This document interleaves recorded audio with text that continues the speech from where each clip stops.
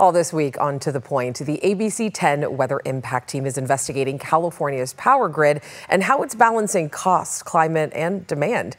Demand for electricity is expected to skyrocket. Last night, we explained California's history and power innovation. Tonight, meteorologist Brendan Minchef shows us how the state is growing and its power grid. Yeah, California's grid in 2025 is better than it was even five years ago, despite the numerous challenges it faces, uh, in includes increasing electrification to a more volatile climate. But getting here was not easy. There have been big successes and costly mistakes.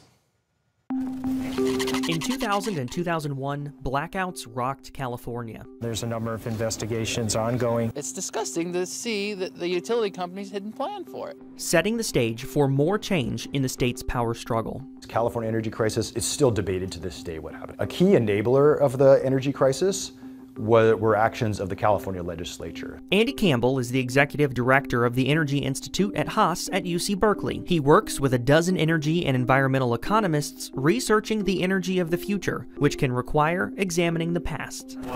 Laws were passed in the mid 1990s. There was sort of a desire at that time to try to reform the way the energy business was structured. There were several large vertically integrated utilities. The same company owned all the power plants, they owned all the transmission lines, they owned all the distribution lines. There was sort of a desire to see if there's a different way of doing things. Campbell says a major problem was the legislature required buyers of electricity to buy all of their electricity in a real-time basis. Enron was not the only one, but Enron was the biggest one to manipulate the market.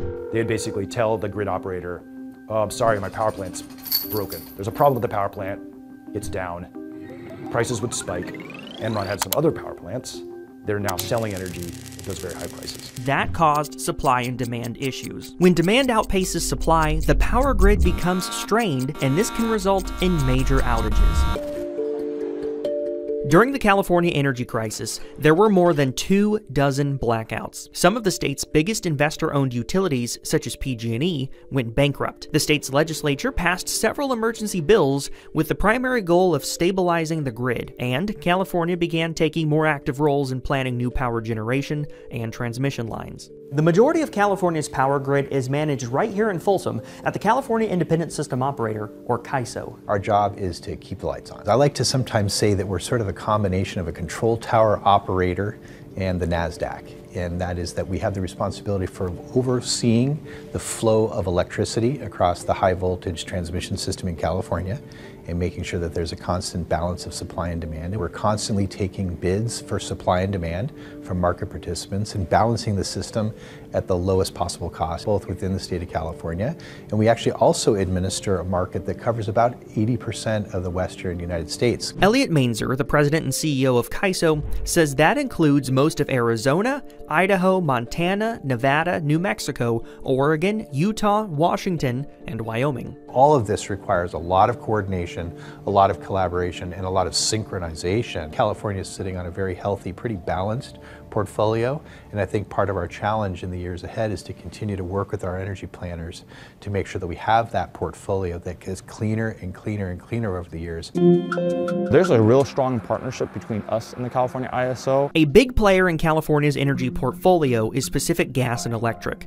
PG&E is one of the state's and the country's largest utility companies. We partner very closely together around where are our major load growths going to occur? And then we work together to say, well, which of these assets need to then be built out to accommodate that load? Over the next 20 years, PG&E is forecasting an increase of 70%. Quinn Nakayama is PG&E's Senior Director of Grid Innovation, Research, and Development. He's at the forefront of grid technology and knows how important meeting 21st century demand is. As all these industries continue to develop and rise, and especially with data centers, which have significant amounts of power draw, with things like AI, and artificial intelligence, now becoming a real big thing here in California, we can't get away from the build. But where we want to do innovation is in areas where maybe we don't need to build as much. I'm going to give you an example through cars and freeways. You have the 80 freeway and the 50 freeway to be able to take people from the outer areas into Sacramento. Well, maybe too many people are driving on the 80 freeway and not enough people are driving on the 50 freeway. And now you're needing to build out new infrastructure for the 80 to accommodate all these new people. But if I'm able to take those cars and push them to the 50 freeway, now I can share the load between these freeways and still feed all of Sacramento their driving needs to be able to help grow Sacramento area while at the same time not having to build another freeway. Well, we're doing the same thing here in our substations. Nakayama says it's not all just about upgrades. Being smarter about how the grid distributes power is part of it too. When the air conditioning is running, maybe I don't want to charge my car as fast. And if we can figure out how to modulate this type of stuff so it doesn't all need to suck up as much energy all at the same time, all the time, maybe we can create an environment where we'll be willing to work in that energy ecosystem and then I don't have to do those upgrades. That doesn't have to appear on your bill and everybody saves money.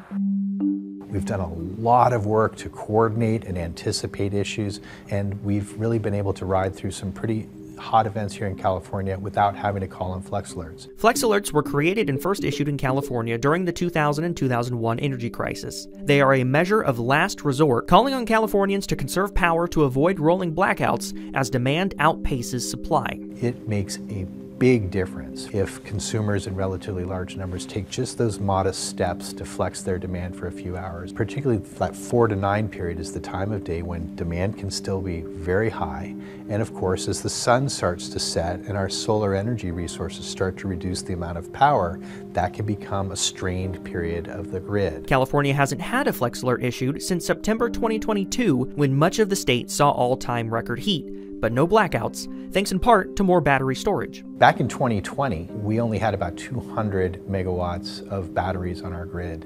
In the last four or five years, we've now got almost 13,000 megawatts of batteries on our system. And by connecting to other states in the West, CAISO can send power from typically cooler states, like Idaho or Washington, to California during the summer to meet increased demand. During the winter, California can send excess power up north. We have a grid that's bigger than the weather. We have huge amount of transmission that connects up to the hydro resources of the Pacific Northwest. We've got transmission resources that go out into the desert Southwest, all the way out into the Intermountain West. As a matter of fact, we're also engaged in the construction of some big new transmission lines. It's all part of meeting California's clean energy goal. We are continually looking for new technologies and new energy procurements to get us to a net zero energy system by 2045. Two things. One, I do not envy their jobs. This seems like one of the most stressful jobs ever. Two, I'm actually proud. I'm a good. I feel like I'm a good steward of my power. Like I'm always turning off the lights, Yeah. not running too much at one time. So that was very helpful. Just those reminders because we've all seen those flex alerts. You know. Yeah, and, and that's part of it. Is these flex alerts have really helped us to ride through some of these really uh, big heat events, being bigger. Uh, having a grid bigger than the weather is part of it too. That's when we can maybe call on Arizona or Utah or someone else, maybe up north, to send us some power on these really hot days. But uh, we're in a lot better shape. I said that before the story too, because we're putting batteries on the grid. So it's not just we're only generating power when the sun is shining and the wind is blowing, but we can store that power and use it when it's needed in these high demand times. All right, Brendan, thank you for bringing us this story. And I also want to mention that we will have more of California's power struggle coming up tomorrow night, right here on To the Point.